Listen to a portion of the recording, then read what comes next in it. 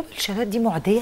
يعني اللي عنده حب شباب في البيت تبقى له فوطة لوحده آه لو حط إيديه هنا وحطها هنا يعدي نفسه أو يعدي غيره؟ لا هي not infectious غير معدية غير معدية. وم- ومش راجعة طبعا لل poor hygiene هو واحد يكون آه، يعني آه، آه، مش مهتم بنفسه والتاني مهتم بنفسه لا هي ملهاش أي علاقة بكده.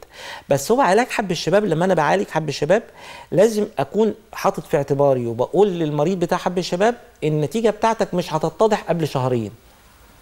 آه يعني هناخد وقت مع بعض. قبل شهرين مش آه، هت... ما تبانش ممكن في. خلال أول شهر كمان الحبوب اللي بتبقى جوه تطلع لبره. دي حاجة طبيعية. بينطر كله آه بالظبط كده. بالظبط كده. يقول لك اهتميت بوشي. فزادت فزاد الحبوب. أنا أنا بطل الدكتور ده. فلازم أقول كلمتين الدكتور ده جاب لي الحدود زيادة.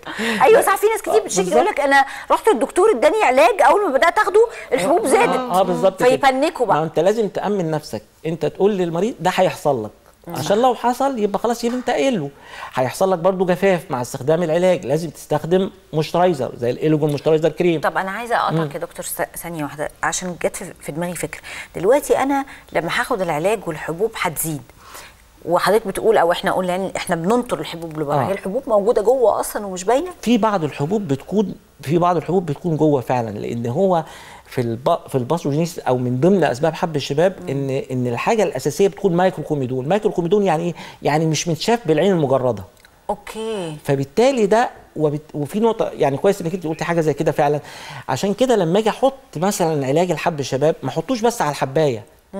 أحطه على الوش كله. okay. أحطه على الوش كله.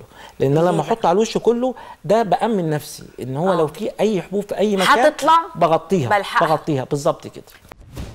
واتش